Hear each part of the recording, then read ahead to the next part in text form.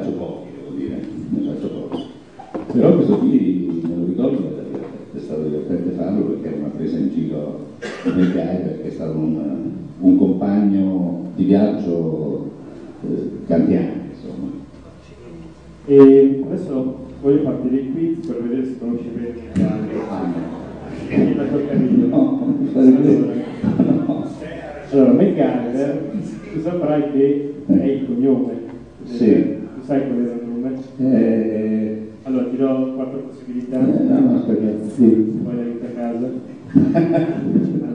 Allora, si chiamava Emmet No, Angus. Angus.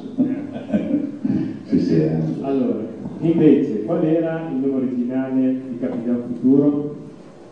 Originale giapponese? Sì, beh, originale, cioè lui ha la F nella cintura, Ah. In Italia è chiamato Capitan Futuro. Ah. Allora, il nome originale era, secondo te, Future, Furious, Freedom o Fastwell? Forse Freedom. Freedom, Eh. bravo, sincero. No, l'ho tirato a indovinare. È una cosa fatta eh, vent'anni fa, più di vent'anni fa, quasi 30. Quindi ricordarsi quel periodo è già un grosso sforzo.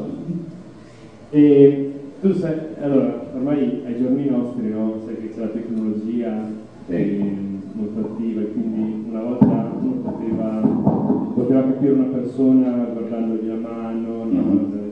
invece secondo me oggi è facile capire una persona giudicandola dalla, dalla suoneria del cellulare che ha.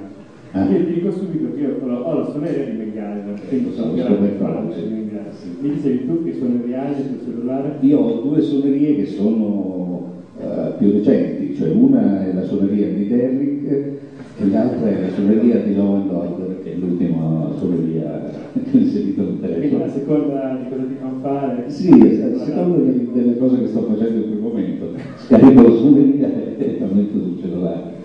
Ok, e dal nome mi sembra di capire che non sei italiano, sei... No, sono di origine spagnola, di padre spagnolo e di madre italiana.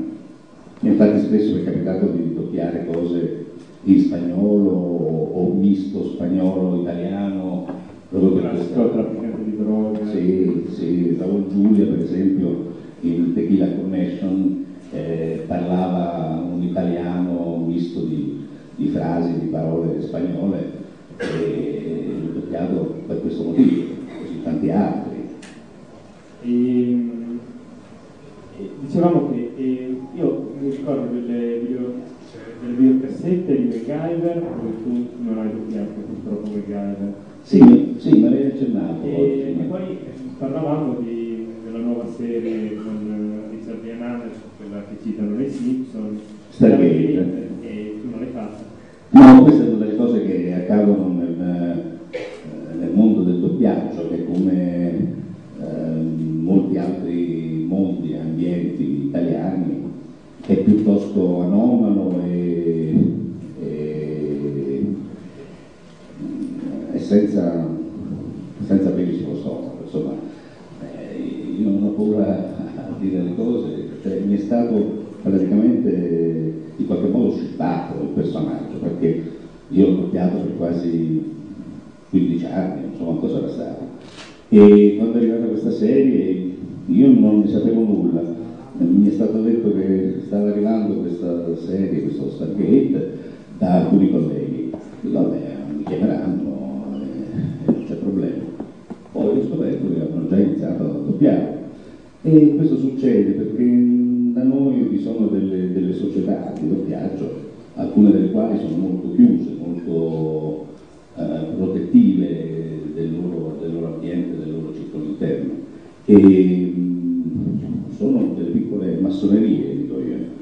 E senza pensarci due volte non, non, hanno affidato il mio ruolo ad un altro attore interno della società senza nemmeno chiamarmi a fare un provino, un finto provino come a volte succede.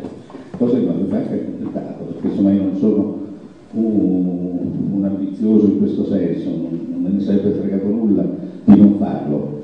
E mi è dispiaciuto il fatto che mi abbiano totalmente ignorato.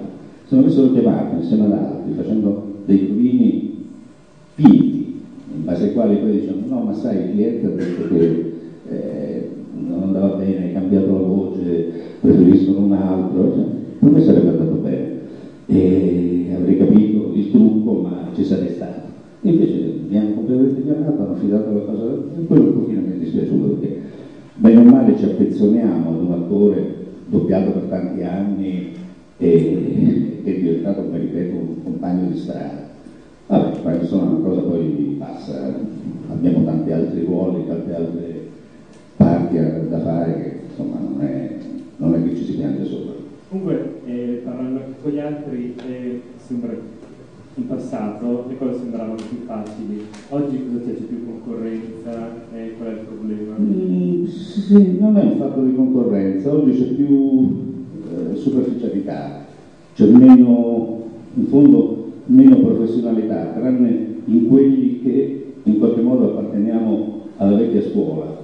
Noi siamo stati abituati a lavorare e ad imparare da gente, come abbiamo già detto, come stato detto, come Fede Arnaud, eh, Renato Cominetti, Renzo Palmer, io ho lavorato con lui per tempo quando era alla SAS e, e tanti altri direttori bravissimi. E, ed era un lavoro che si faceva con un impegno professionale, con una serietà professionale estrema. Per dire, ne parlavamo oggi, eh, quando si entrava in sala e il turno durava tre ore, tre ore e mezzo, non si usciva dalla sala. Anche se uno aveva tre battute, restava tutto il tempo nella sala, perché il turno durava tre ore e mezzo. E devo dire che questo era tra l'altro un modo per imparare a, a lavorare in questo mestiere. Questo mestiere è un lavoro artigianale, è un lavoro nel quale prima di tutto bisogna essere attori, se non si è attori non si può farlo però è una specializzazione dell'attore, una specializzazione tecnica che richiede moltissima tecnica e questa tecnica va acquisita e va imparata lavorando, facendo e soprattutto ascoltando gli altri. Ora, allora, cominciando questo lavoro, vi erano insegnanti straordinari come questi direttori che ho detto e vi erano compagni di lavoro come Gigi Proietti, lo stesso Renzo Palmer, eh, e tanti altri bravissimi io quando ho cominciato già lavoravano da anni Michele Calamera, Bruno Alessandro, gente che mi ha insegnato moltissimo. Cioè io stavo in sala e imparavo la tecnica, la, il modo di usare questo strumento che è la nostra voce, che è uno strumento che va educato, va eh, conservato, curato ed educato. È proprio come un violino, va, va eh, accordato ogni volta e adattato alla sinfonia, alla, alla, melodia che bisogna interpretare. Questo si impara, altrimenti si va a giro e si fa semplicemente uno speaker, una cosa non dico atonale, ma comunque eh, abbastanza impersonale, che non è l'interpretazione vera del personaggio. Non so se è già stata fatta prima perché sono dovuto uscire un secondo.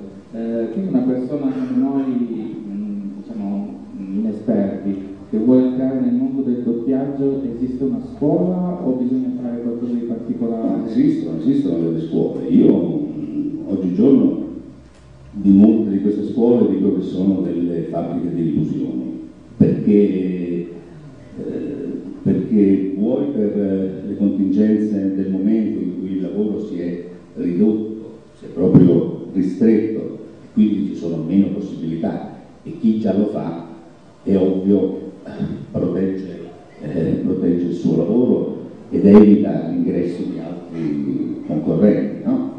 E, e, poi queste, queste scuole di, di, doppiaggio non possono uh, dare, preparare uh, un giovane ad, una, ad un lavoro, ad una professione come questa e richiede, come ripeto, come dicevo prima, un'enorme, un'enorme esperienza per acquisirne la tecnica, proprio la tecnica di come si sta alle giro, di come si usa la voce alle giro di fronte al microfono, di come si entra psicologicamente nel personaggio in tempi brevissimi, perché noi abbiamo pochissimo tempo, una volta, e per i grandi film, come diceva anche Massimo, c'era la possibilità di vederlo, di capire la storia, di capire il personaggio e di farsene un'idea, se non altro, interiore, mentale.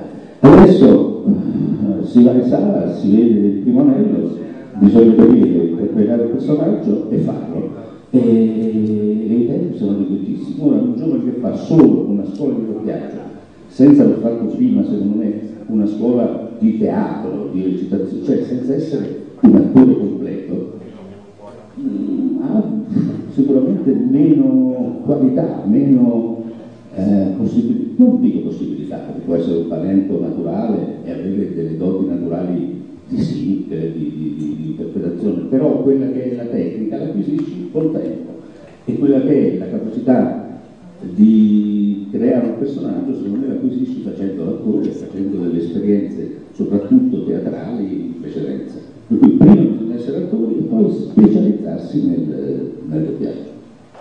Ci vuole una caratteristica particolare, ad esempio io non so, eh, sentiamo spesso magari che l'attore o il personaggio di un cartone animato si mette a cantare e ci sono situazioni in cui eh, viene lasciato l'attore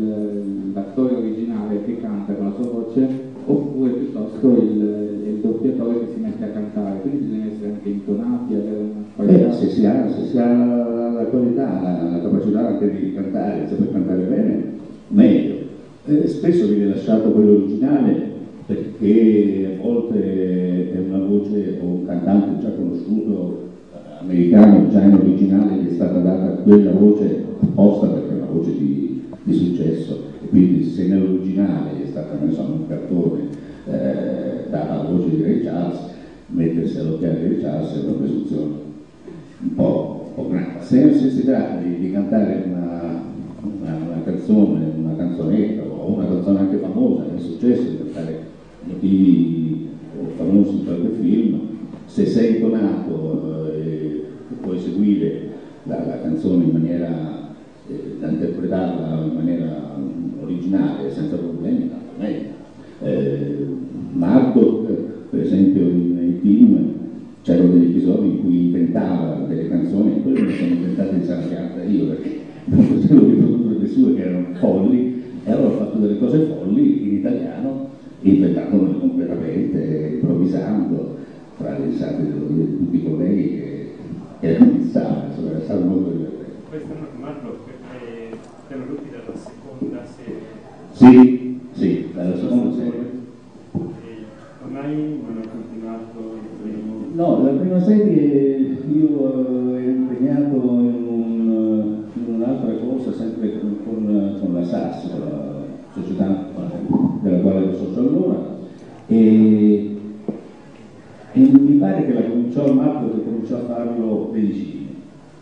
La cominciò a fare Pedicini, poi o lui eh, fu pilotato su un altro film, non so se coincise, ma credo di no, non, non, non si trattava della Vereus, si trattava di qualche cosa per cui eh, lui non poté più farlo. Fecero um, nuovamente dei provini all'interno della SAS e, io vedi scelto per, per far male. E da allora l'ho fatto sapere.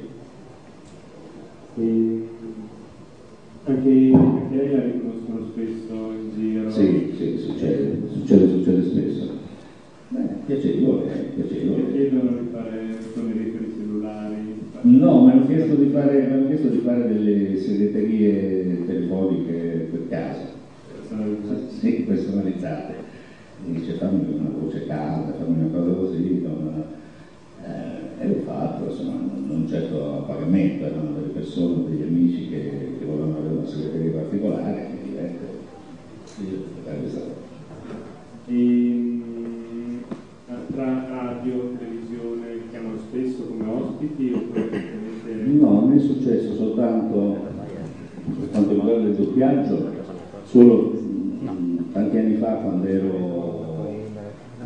ancora alla SAS e facevo una serie che si chiamava eh, quando si ama andare. Eh? Una soap opera. Eh, quando si chiama, perché io uno dei personaggi principali eh, di tutte le prime due o tre annate. E allora chiamarono me, una mia collega Claudia Palvoni, che faceva la mia fidanzata o qualcosa del genere, a, a Torino, a una trasmissione di Riscoli, come ospiti a parlare del doppiaggio. Eh, quindi parlavamo del doppiaggio e poi ci fecero un po' come fate qui stasera, doppiare una scena di chiama direttamente in sala eh, a Torino. È una, una, delle poche volte in cui perlomeno io sono stato invitato come, come ospite per quel che riguarda questo A volte so che i doppiatori chiedono cose un po' difficili, tipo dimmi una frase alla MacGyver. Eh, succede, sì, è succede, è difficile. Dico, ma MacGyver è la mia voce, io non ho delle frasi alla MacGyver. MacGyver è in fondo un giovanotto normale che, che parla normalmente, che si trova soltanto a vivere delle situazioni particolari nelle quali si comporta come tapeta, delle tappette dei telefilm, tira fuori queste cose con, e con pochi oggetti riesce a risolvere tutte le situazioni. Però non ho una frase di Megare, non ho una frase di altri film o telefilm che ho fatto che si ripeta o che sia indicativa, significativa di quel personaggio. Allora, vorrei capire perché io sono fan, collezione in tasca, Devo dire che questo ce l'ho anch'io. Ah, sì, sì, sì, sì, lo comprai durante la serie di Megare, il coltellino svizzero, ce l'ho sempre con me in valigia. Sì, sì, sì. È un oggetto, eh, sì, un oggetto proprio simbolo di quel periodo, di quel personaggio.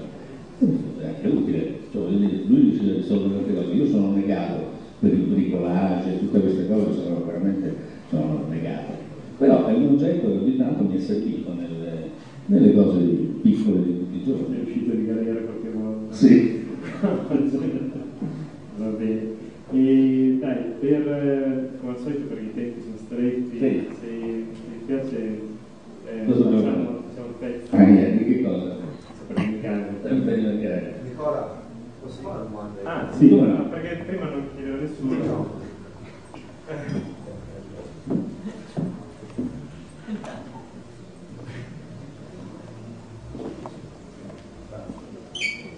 Sì, forse una domanda che è proprio calzante per lei, perché io ho visto L'1 in Italia, poi sono andato in Spagna, Mhm. mesi, e ho visto il 2 in Spagna.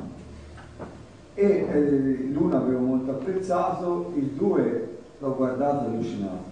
Proprio ero, ero basito da come non, corrispondeva la mia visione del film con le parole che sentivo uscire dalle voci degli attori. Mi sono sempre chiesto se eh, la scuola italiana del doppiaggio era molto migliore di quella spagnola oppure ero io che, mh, insomma, sentendo la nonna la lingua madre, già ero partito prevenuto. Ah, hai Questa, questa è la domanda. Hai ragione, hai ragione. Eh, lo dico non con dispiacere, insomma, in quanto io ho sangue spagnolo nelle vene e in fondo mi dispiace questa cosa, ma in Spagna sono veramente vive, a- sono veramente negati, fanno un pessimo viaggio, pessimo. E hanno soltanto un mito, il culto delle voci belle, oh, che sono molto rotonde, cioè pastose, però che non- spesso scolano quel personaggio e non c'entrano solamente nulla, voglio dire, non so chi abbia doppiato Pino Luis, però sicuramente c'è stata una voce bella e postata, eccetera, ma che non c'entrava niente con lui, perché è un mondo eh, che non è chiuso, attenzione, non è chiuso ad ingressi ed entrate dall'esterno. Mm, È, è facile entrare, se si sa lo spagnolo, nel mondo del doppiaggio spagnolo e lavorare, perché sono coglienti, hanno uno spirito eh, molto socievole in questo senso.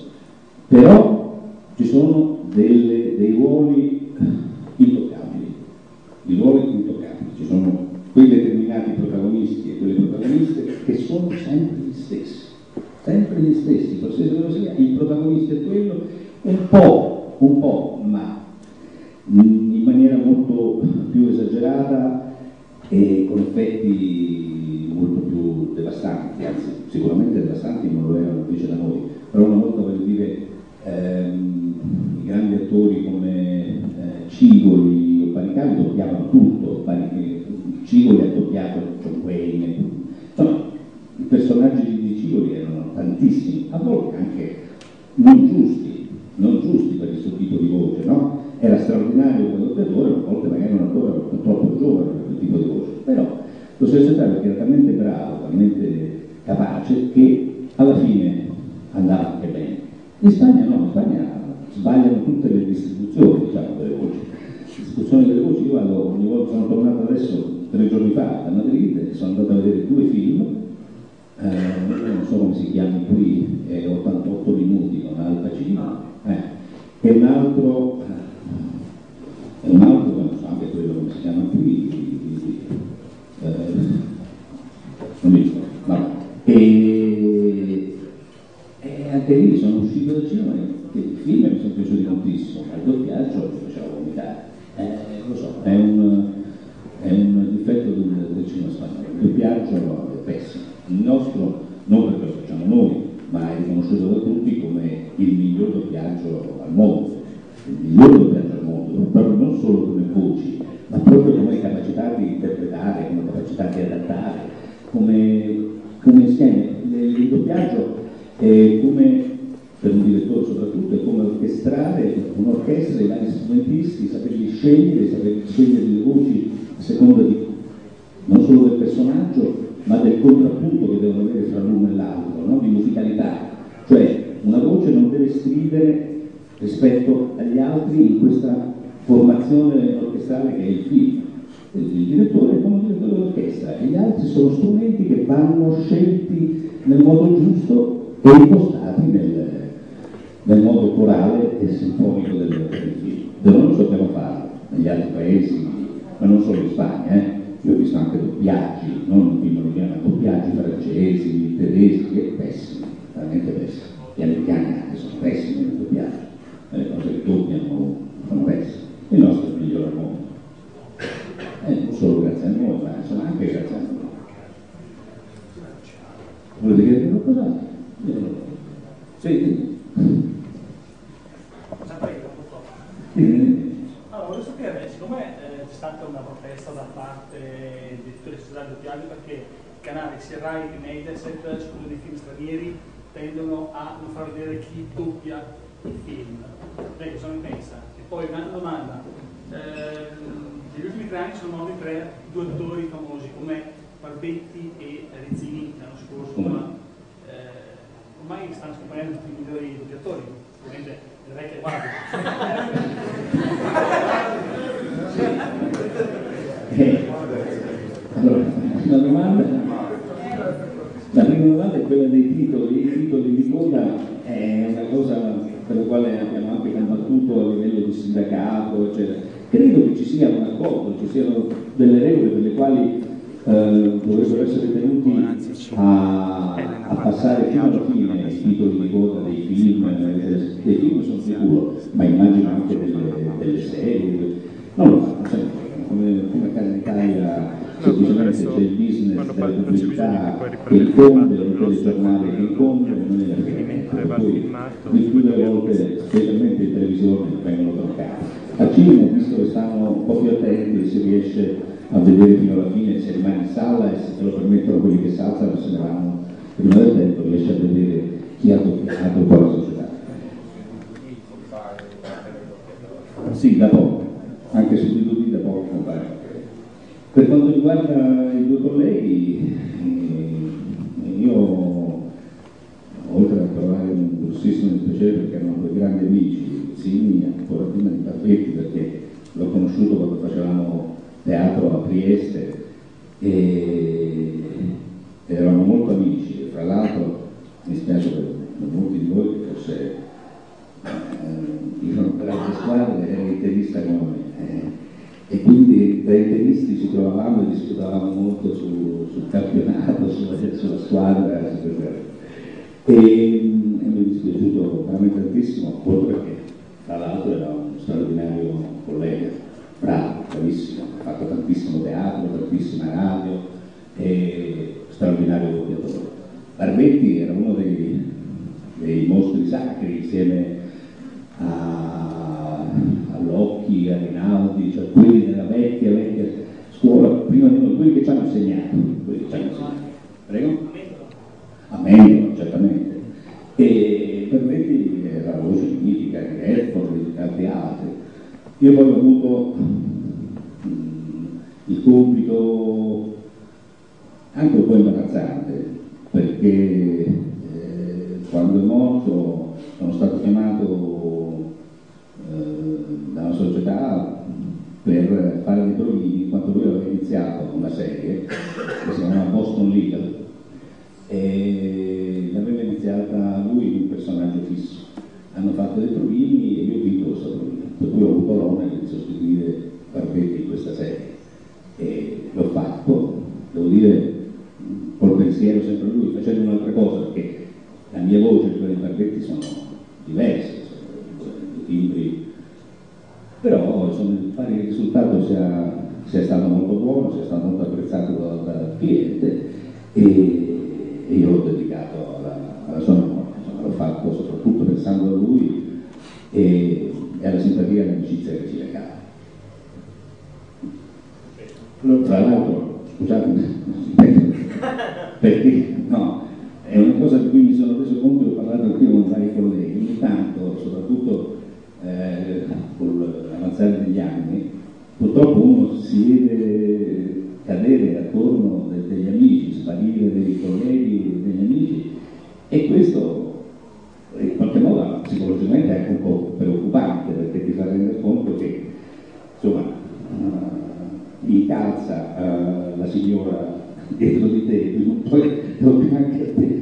Io spero di, di, campare ancora abbastanza e di continuare fare questo Poi questo penso che sia comune a tutti quanti, cioè, il doppiatore come... Sì, però quando cominciano ad essere i tuoi coetanei, no? O, o differenza di pochissimi anni, che cominciano a scomparire e la cosa diventa un po' più preoccupante.